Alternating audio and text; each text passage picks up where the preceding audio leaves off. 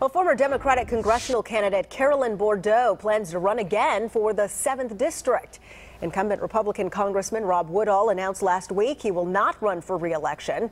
Bourdeaux narrowly lost the race to Woodall in November. This morning, she officially filed to run in the race. She already has the endorsement of Ambassador Andrew Young and Congressman Hank Johnson.